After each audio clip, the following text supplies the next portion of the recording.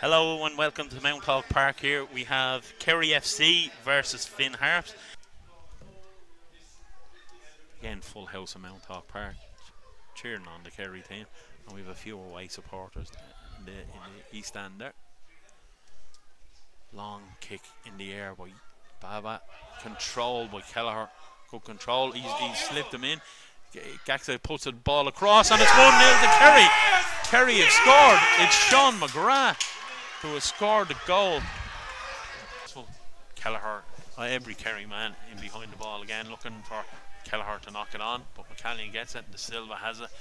And the Silva is skillful there. He knocks it out for Porter. Good cross in the box there. Daniel Akunte is, is no. It's a goal for Finn Harps. We don't know who scored it. It's a low cross into the box.